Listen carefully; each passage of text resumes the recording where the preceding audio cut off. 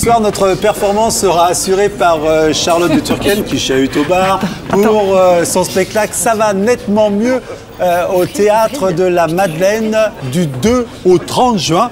Et également, vous pouvez euh, retrouver Charlotte de Turquem dans Les Aristos. Euh, C'est dans les bacs euh, actuellement où vous allez retrouver Madame la Baronne. Bonsoir. Bonsoir. Bonsoir. Alors, on va parler de ce spectacle, ça va nettement mieux. Mise en scène donc de Catherine, Catherine Osmalin. Osmalin, voilà. Mais ce, ce spectacle est déjà lui-même la suite de votre précédent spectacle. Voilà. Alors toujours sur le mal, les adolescents. Voilà, mais alors ça s'appelait On m'a pas prévenu, et maintenant, quand même, au bout de deux ans, ça s'appelle Ça va nettement mieux. nettement mieux. Ce qui prouve que la thérapie, ça fonctionne. Donc il s'agit d'une thérapie en fait. C'est essayer de savoir Oui, comment se débrouiller. il- il- Je dirais que plus que ça se fait des trucs de- un peu défoulatoires. Parce que ce qui m'a amusé, c'est qu'au bout de deux ans en province, en fait, tous les gens qui venaient voir le spectacle, c'est pour ça qu'il qu'il s'est transformé, les, les gens parlaient tout seuls, dans la, tellement ils étaient concernés en fait, Ouais, ouais. par euh, à la fois cette espèce de, de coup de gueule que je, que, que je pique euh, sans arrêt dans le spectacle à travers tous ces personnages, à travers les ados, etc. Alors on va voir les personnages. Alors si je comprends bien, vous avez inventé le spectacle participatif. C'est- Exactement, c'est exactement ça.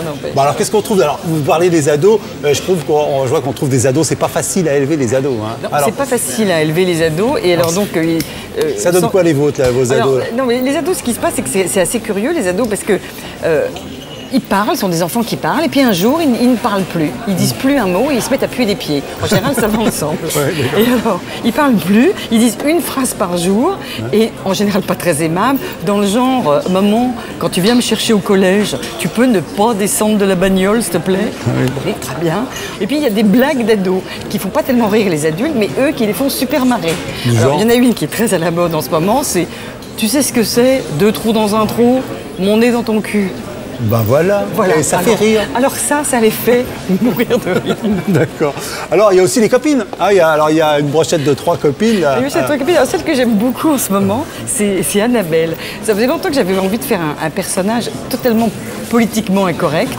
Sylvie qui pas de cerveau, pas- de conscience, pas, pas de morale. Elle est pas, euh, elle s'en fout de ce qui se passe.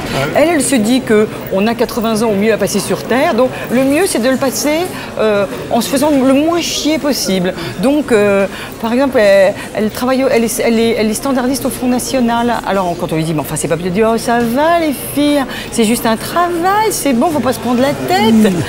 Ah, puis euh, quand, on- franchement, quand, quand on commence à trop l'engueuler, parce que c'est pas possible, elle dit, bon, ben ça va, ben écoutez, voilà, de toute façon, j'ai trouvé un autre boulot dans une boîte extra que vous connaissez pas, vous pourrez rien me dire. On dit, ben c'est très bien, elle s'appelle comment cette boîte? Clearstream. Puis, elle s'en fout, puis tout va, tout va très bien pour Qu'est-ce elle. que vous avez comme autre copine Je crois que vous aviez une, une gauchisante très en- engagée. euh. Alors, J'avais une gauchisante très engagée que j'ai toujours, qui est encore plus engagée, euh, et qui en plus est très donneuse de leçons et qui a euh, une technique pour tout. Alors entre autres, elle a une technique, cela dit, qui marche vachement bien, qui est comment séduire un mec. Alors le alors, truc pour tester hein. un mec, Ouais, allons-y. écoutez-moi bien, Vous allez l'écouter bien. il faut mettre sa main comme ça. Être légèrement, en là ça tombe bien parce que je suis légèrement en dessous de vous. Ah, Voilà. Donc il faut être légèrement en dessous du mec, comme ça, mettre la main comme ça, faire son regard de biche, comme ça, et si possible, un petit peu se caresser le cou. Et il faut surtout et bien écouter ce que dit le mec et se passionner pour ce qu'il dit. Tout ce qu'il dit te passionne, d'accord? D'accord, oui. Il te parle de sa tondeuse à gazon. Oui. C'est le truc le plus passionnant que tu aies jamais entendu. Tu fais deux hauteurs de coupe. Oh, mais c'est génial. Elle fait aussi les bordures. Oh, mais vous êtes génial. Et c'est vrai que ça marche avec tous. Alors, vous aviez envie, je crois, de nous Ah oui. parler, nous montrer de quelques. Ah oui, non. Je, je vous ai amené euh, des modes d'emploi. Je ne sais pas si ça vous est déjà arrivé d'acheter un appareil. Euh, et d'avoir un mode d'emploi qui en fait on sent que ça a été traduit euh, en en- de finlandais, en hein, voilà. tu vois le délire? Et on comprend rien à l'appareil qu'on a acheté. Donc je vous ai trouvé un truc qui s'appelle le mini broyeur. Alors je vous donne le mode d'emploi du mini broyeur. Ce mini broyeur à percussion carrée, qui désormais est votre mini broyeur à percussion carrée, c'est le choix récompensé.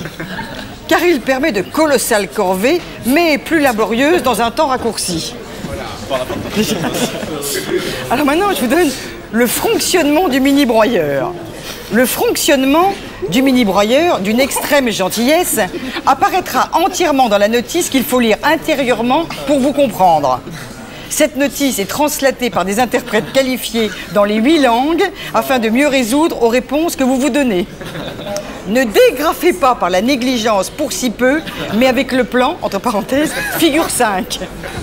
Nous vous souhaitons une grande absence d'accidents et du fonctionnement. Pas mal, pas mal, joli, joli. Bon, en tout cas, on a, on a compris qu'il faut aller euh, euh, voir Charlotte de Turquie.